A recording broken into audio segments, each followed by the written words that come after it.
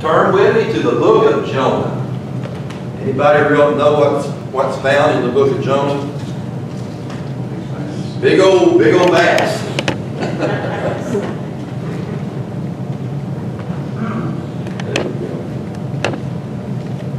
Yeah, I think it's, uh, it is the ultimate vacation Bible school, Sunday school story. I mean, it captures kids' attention. It captures my attention. Uh, I mean, the, just, just the debates that people have about the debates that, you know, "Well, there ain't no way that anybody can fit inside the big belly of a whale. One thing it didn't say, well, it said great big fish. Then it also said that God prepared it. In other words, it's not just your normal fish. God prepared that fish in order for that to happen. I did this, this was one of the first series of things that I ever did, was to go through the book of Jonah. And so as the years go by, you go back and you look at sermons that I, I, that I've done. I look at sermons that I've done back early in my ministry, and I said, no, that ain't gonna work. I, I, but I went back over this, and I was looking at it, and I said, you know what, this is pretty good. I, and I think it's important that we get the proper attitude and perspective on the book of Jonah. It is not a fairy tale. It is something that really actually did happen, and that is so relevant for us as adults today that we could, it just reeks on us as far as uh, about things that we need to do in this life. Jonah, the first chapter. Let- Let's look at the first two verses of Jonah in the first chapter. Verse 1 it says, Now the word of the Lord came to Jonah, the son of Amittai, saying, Verse 2, Arise, go to Nineveh, that great city, and cry out against it, for their wickedness has come up before me. Let's, let's, let's talk about the characters, because this is kind of important in this story. Who was Jonah? Well, Jonah was a prophet. Okay? Uh, you could say, well, Jonah was a preacher. Yeah, it's not quite the same, but you could say that that kind of position in society, he was the Word of God. God would give him Word, and, God, and he would just faithfully and turn around, give it to the people. Yeah, pretty much preaching. So, uh, he was, they had they had uh, prophet schools at that time. There was a whole lot of stuff going on. You know, uh, they had a, uh, a whole bunch of prophets all claiming to have God's word. I don't know if God was giving them words or not. Maybe he probably he probably was. But you would think that a prophet who hears from the word of God would actually listen to God, to the Word of God when it applies to them. Makes sense. They actually are the one hearing God's Word. And here Jonah was, was a prophet, preacher, and uh, he was just going about his business. I will tell you something. There is something about Jonah here that will lead us to believe that Jonah is a bit self-righteous. He's, he's a bit self-righteous. What does that mean? It means that he thinks that he's better than everyone else. That he makes himself better than everyone else. Why do I say that? Well, who is Nineveh? Where's Nineveh? Nineveh is not a person. Nineveh is a city. It was a great city. It was a great city. And he wanted Jonah to go and preach to the Ninevites. Well, isn't that what preachers do, go preach? Now, let me tell you, God has not been calling me over to the Middle East you know, as a missionary to preach. Okay? That is not their call. Neither has he been sent, wanting to send us already here, but he's not been wanting to send me to Hawaii to, to start a mission. That's, uh, that's not the case. God has called me here, and this is where I am for, for now. You know, subject to the Word of God. So, what's his problem? It's not like he has to go live there. He's just going to preach to them. Well, they were evil, wicked people. Okay? So we're not supposed to preach to evil, wicked people. No, that's not what his problem was. In the his, historical record here, we'll find that for some reason, Nineveh, the Ninevites, he hated them. He hated them. Maybe it was something that happened in the past, but the Ninevites, they were, they were wicked and evil people, and they had caused all kinds of issues and problems. It'd be like saying, I want you to take your worst enemy in the whole world, and I want you to go show them some love and tell them about Jesus. Now, I was thinking, that makes it a little more personal, doesn't it? Well, they don't deserve that. And besides, that'd be way too uncomfortable for me. And what did God want Jonah to do? He wanted to preach to them. And Jonah said, No, Lord, I can't do that. I'm not going to do that. This was not God asking Jonah to do this. Okay? This was not a choice that Jonah had. God told Jonah, Go and preach to Nineveh. There was no out clause. yeah, no, there's no fine print in there. He just told him to go. So, when God tells, I don't know about you, but when somebody tells me that I have to do something, my first thought is what? okay, I hear about it. That's my first thought. Now, I'll think about it, and depending on who's telling me.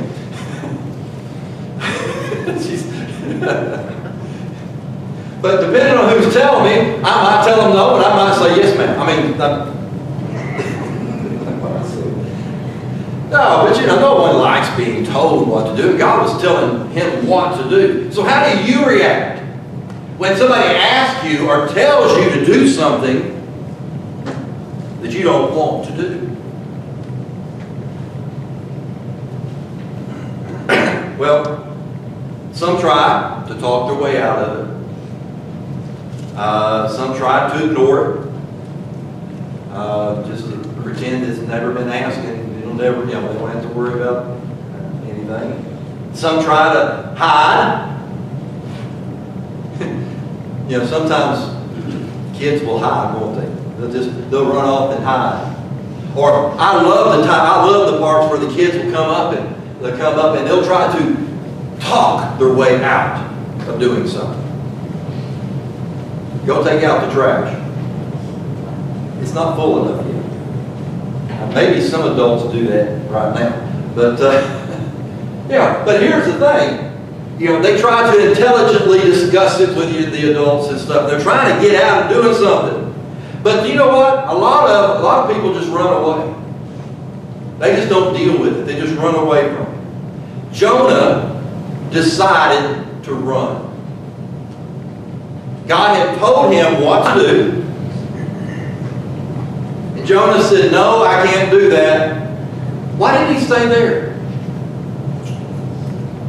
Why did he stay there?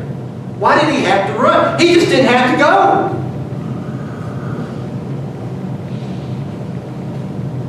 In doing so, by running, it, things appeared to be much harder.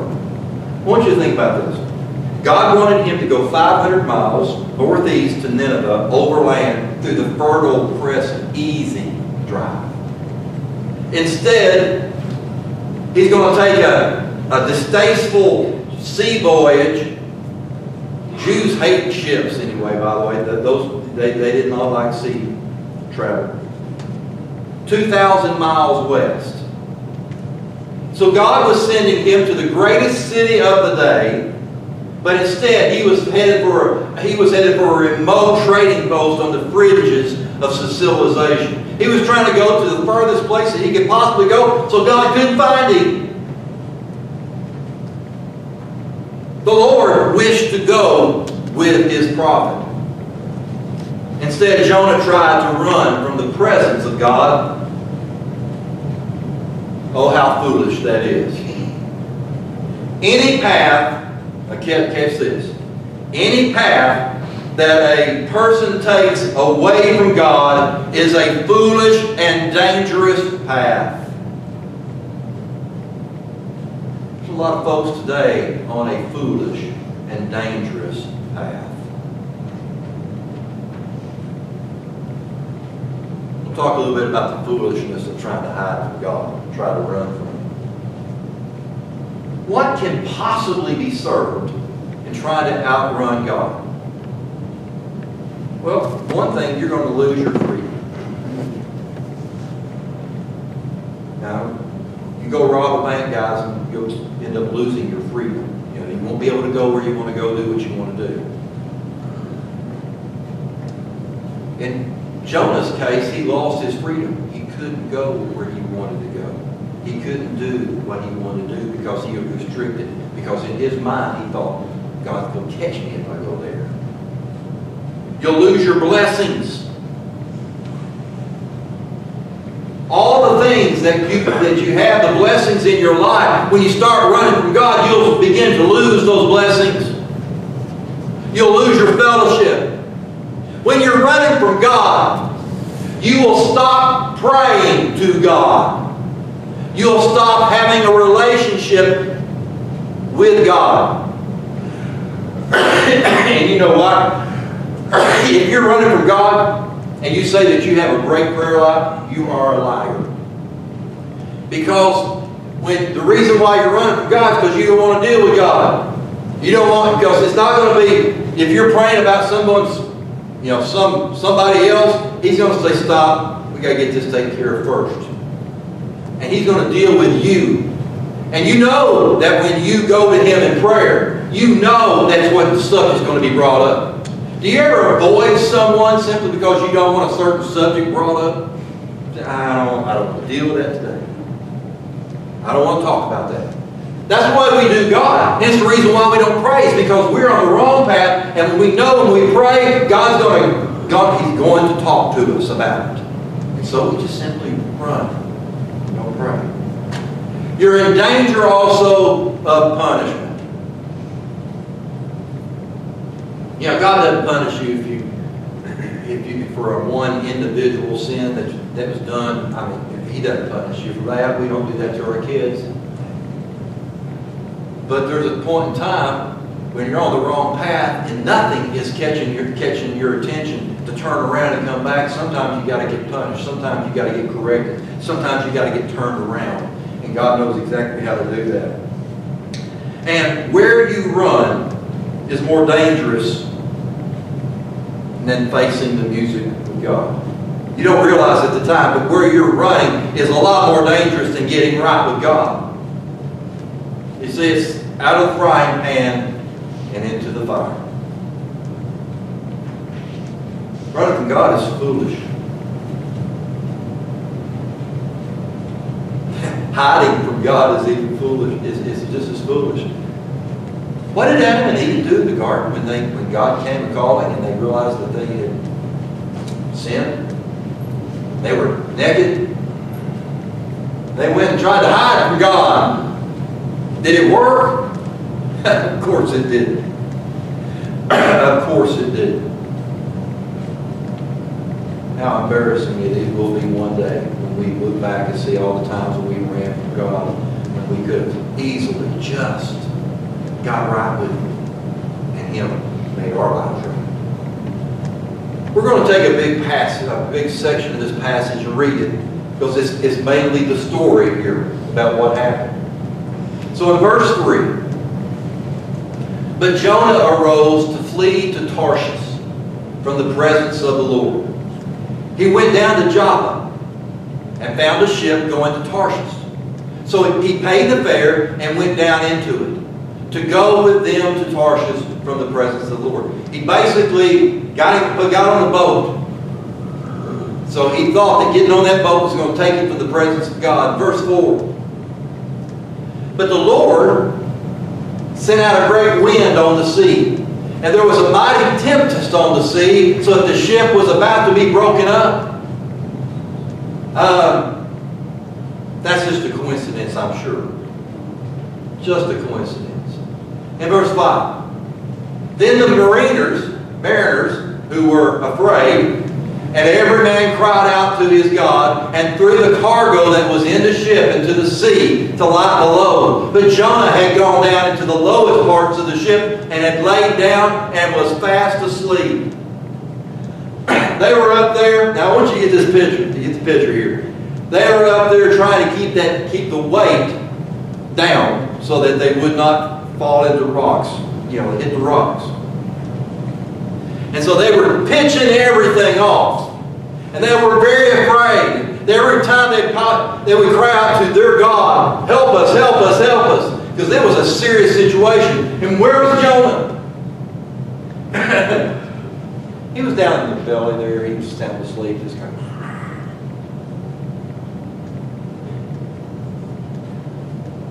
Isn't that exactly what happens? I'm getting into the message here a little I'll a story. But isn't that, think about that. Isn't that what happens to us? We just kind of, the storm's all around us and we just kind of sleep it there. Now, in verse 15, I mean, uh, verse 6. So the captain went down, woke him up, and said to him, What do you mean, sleeper? Why in the world are you sleeping? Arise. He says, You need to call on your God. Perhaps your God will consider us so that we may not perish. he says, None of these other gods seem to have taken credit for this. Maybe it's your God that's doing it. So why don't you sacrifice and do something for your God so that we may not perish? The next verse tells us, and they said to one another, Come, let us cast lots, that we may know for whose the cause this trouble has come upon us. They were actually going to, you know, cast lots to find out who it was. Uh, by the way, Jonah wasn't fessing up to it either. He wasn't. He wasn't going to tell them that it was him. And so they cast lots, and the lot fell upon Jonah. Imagine that. Verse 8. Then they said to him, Please tell us, for whose cause is this trouble upon us? What's your occupation? And, and where do you come from? Where's your country? What is your country? And what, uh, what people are you? They're going, they're asking the 20 questions. They're trying to find out how to save their lives. And Jonah says, I, I don't want to go back there. In verse 9, and so he said to them, I'm a Hebrew, and I fear the Lord, the God of heaven, who made the sea and the dry land. Sounds like a preacher answer, doesn't it?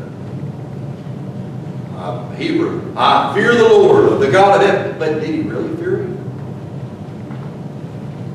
And he said, I made the sea and the dry land. But why is he using the sea and the dry land to try to escape from the God who made it? In verse, the next verse tells us what the reaction of the men were. Then the men were exceedingly afraid and said to him, Why have you done this? For the men knew that he had fled from the presence of the Lord. Why are you running from God? You know why they knew? He eventually told them. Um, I'm running from this mighty God who made the sea and the land. Was that any of the sailors' faults? Did they have anything to do with it? But yet here they are in the middle because of Jonah running from God. In verse 11, then they said to him, What shall we do to you that the sea may be calm for us? What is it that we're going to have to do here to get the, the water calm? For the sea was growing more tempestuous. In verse 12, then they said, uh, and he said to them, Pick me up, throw me into the sea, and then the sea will become calm for you, for I know that this great tempest is because of me. Just throw me overboard, and then you'll, you'll, you'll live. Verse 13.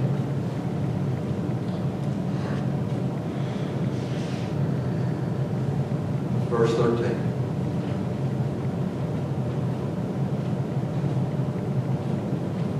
Uh, I'm sorry.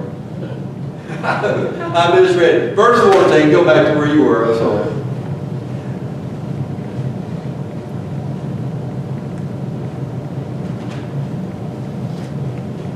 Alright, and so they picked up Jonah, and they threw, uh, There's four. oh, there, okay. I knew we was missing a verse someplace. Go back to 14. Therefore they cried out to the Lord and said, We pray, O Lord, please do not let us perish with this man's life, and do not charge us with innocent blood, for you, O Lord, have done as it has pleased you. It sounds like they were more religious than the preacher were. And they're just old grubby sailors. They recognize God. Now let's go to verse 14, uh, 15. So they picked up Jonah and they threw him into the sea, and the sea caused and the sea caused ceased from its raging. In verse 16. Then the men feared the Lord and exceedingly. They offered up a sacrifice to the Lord and took vows. We'll stop the story there. I want you to notice firstly Jonah's reaction. He did not care.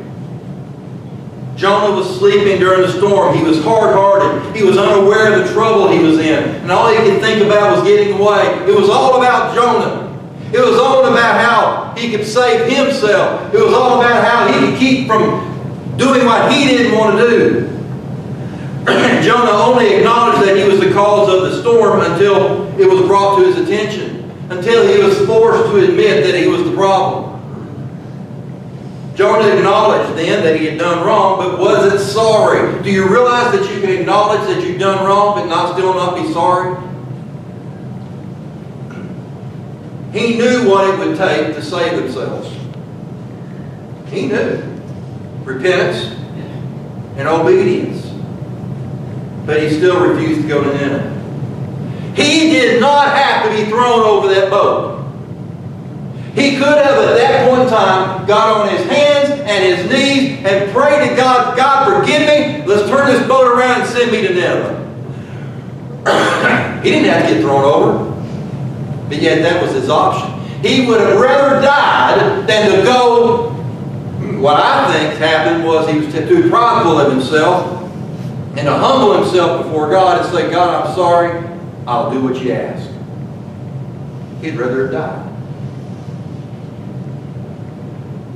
Now, is that how we react sometimes when God convicts our hearts about something? Do we run and hide or rather die than to get rid of our pet sin that plagues our life? To give all of our lives to Him instead of that little portion. I surrender all, I surrender part.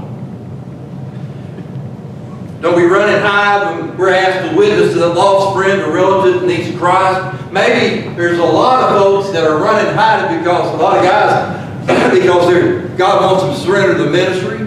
Maybe they're a saved child of God and there's people out there that God's saying, I want you to be baptized. I can't walk that aisle. I can't get up. I'm too embarrassed. They're running from God because of it. Maybe they're running to ask Jesus, to, from Jesus to save their soul, to live forever with in eternal life. Maybe they're running from it because they can't, they don't want to surrender their lives to God, and God is chasing after them. Yeah, I want you to. And they're turning them down. The sailor's reaction was this, Lord, save us. Isn't this amazing? When, this, when we call storms in our lives, by disobeying God, the storms typically affect other people besides us. It's not just about you. It's about those around you, the ones that you care about. It's the ones that affect that your storm's going to affect their lives in some way. But compare the act, their reaction to this hard-hearted, self-righteous Jonah. They were convicted, aware, and convicted of their, of their danger. They knew that they were in trouble. Jonah didn't seem to have a care. He didn't seem to care about the trouble that they were in. Notice something else. They suddenly became religious. they were talking about all their other people's gods, and when nothing was still working, they said, Jonah, what about your God? Maybe it's your God that's causing this. Maybe he can stop it. They uh, cast forth their wares. They, they turned over a new leaf. In other words, uh, they, they said they made promises to God. They may even said, Lord, if you'll get me out of this, I'll stop cussing. Because you know they cuss like a sailor. now, isn't that what happens to a lot of folks? They get in trouble, they turn to God. Jonah didn't even do that. And he was a prophet. And they had a good enough good sense to at least turn to God even if they weren't being heard. Even if they didn't know this God, they at least they had a good enough good sense to turn to Him. They sought human help in Jonah. They had tried to save themselves with good, with human good works to no avail. So in desperation, they got rid of the cause of the storm, which was Jonah, and the storm subsided. When we get rid of sin through Christ, we'll have peace with God. We need to lighten our load too. So they surrendered to God. These heathens. God were other God worshippers. They feared God. They sacrificed to God. And they made vows to Him. And Jonah, all he did was throw and get thrown overboard. He allowed himself to get thrown overboard. You see, even when we are running from God, in the middle of life storms, God, God gives us opportunities to be a witness. Some of the storms that you go through, you didn't deserve. But your reaction to those storms are going to be a witness to those folks around you. So what was Jonah's witness? You know, when we're running through these storms, it seems, and running away from God, it seems the only thing we can think about is the running. How do I get away from it? How do I do this? One bad decision leads to another. When a witness says, what a witness Jonah could have been. I want you to think about this. What if, what if Jonah had told the, told the guy, turn the ship around, I'm going to death? That would have been, a, that would have been an answer. What if, what if he got on his knees and praying to God for forgiveness in front of those people and then the storm stopped? Hmm, that, that would have been, what an example of witness that have been. Showing the sailors what a great and great forgiving God that we have. Showing, showing by example how the Lord rescues the perishing. And He cares for the dying. What an example that maybe people are looking to you to be that kind of example. Maybe God's wanting you to be that example. But instead, he chose to continue to make one bad decision after another. I want to talk to you a little bit about Chippy the parakeet. Chippy the parakeet. Have you heard about Chippy the parakeet? Well, Chippy the parakeet never saw it coming. One second he was perfectly perched in his cage. The next one he was sucked up, sucked in, washed up, and blown over. And the problems began when, when Chippy's owner decided to clean Chippy's cage with a vacuum cleaner. She removed the attachment from the end of the hose and she stuck it in the cage. Well, the phone rang. And she turned to pick it up and she barely said hello when she heard a Okay? And uh, Chippy had got sucked in. The bird owner gasped and put down the put down the phone and turned off the vacuum and opened the bag and there was Chippy. Still alive, but a little stunned. Since the bird was covered with dust and soot, she grabbed it And she raced to the bathroom and turned on the faucet. And she held Chippy under the running water. And then, realizing that Chippy was soaked and shivering, she did what any compassionate bird owner would do. She reached for the hair dryer and she blasted the pet with hot air. Poor Chippy never knew what, what him. A few days after the trauma, the reporter who had initially written about this event contacted Chippy's owner to see how the bird was recovering. And well, she replied, Chippy doesn't sing much anymore. He just sits and stares. You know, it's not hard to see why. Sucked in, washed up, blown over. That's enough to steal the song from the stoutest heart. And I suspect that all of us. One decision leads to another bad decision, to another. We're just making the worst of a bad decision. Jonah could at any point in time stopped his rebellion, stopped his running, but he kept making bad decision after bad decision, and he finds himself in. I hate I hate telling the end of the story or the part of the story ahead of time because this is for next week. He finds himself in the belly of a great fish. How in the world did he get there? One bad decision at a time. Do we find ourselves in the same predicament in our lives where we just can't seem to keep make we can't seem to make the good one good decision, but we make one bad decision after another? Each bad decision just makes us deep, gets us deeper, and worsens our witness for God, and makes it one just makes it difficult for us in our life. So let's go to verse 17. Now the Lord had prepared a great fish to swallow Jonah. Remember, he got thrown off. And Jonah was in the belly of the fish three days and three nights. This is God's resolve, but it's your decision. Your decision. He did not have to go into that that, that fish.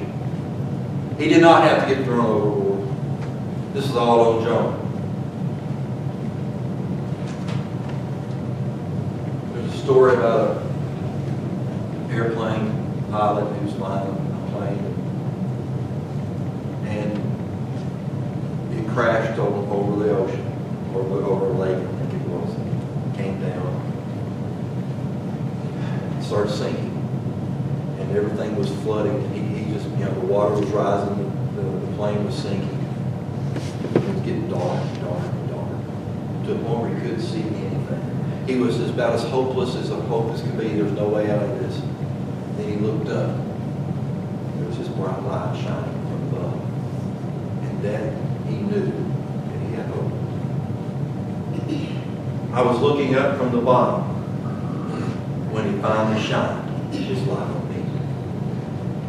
Sometimes you have to you have to get to the bottom in order to be able to look up and see what God has for us. Could anything be worse for a person than to be in the belly of a whale? And it's then those moments when there are no distractions, nowhere else to go, there's nothing left to do, nowhere to run. And then that's when we can make the ultimate decisions in our life. And that is turn your life to God. Turn to God or die. Literally, he was in that position. If you don't turn your life over to Christ, you will die. And each one of us, at some point in time, faced that reality. When we came to know Christ as our Savior, we had that decision. Do I turn to Christ and live, or do I turn away and do I die? Some folks are so self-absorbed, so self-righteous, and can never humble themselves. They say, I got this on my own. And they just continue. God wants His will for your life. He wants, and, and trust me, His will is going to be so much better than ours. We need to follow. And we need to make the, make the decision to obey, to follow. When he says, go, yes, Lord, we'll go. We, we're gonna have questions? Yes. Are we not gonna like, it's gonna make us feel uncomfortable? Probably. That's part of growing. We need to stop being Jonahs.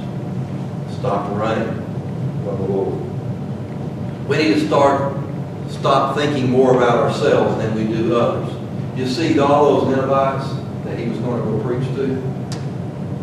Part of the reason why he didn't want to go is because he knew God. Yeah.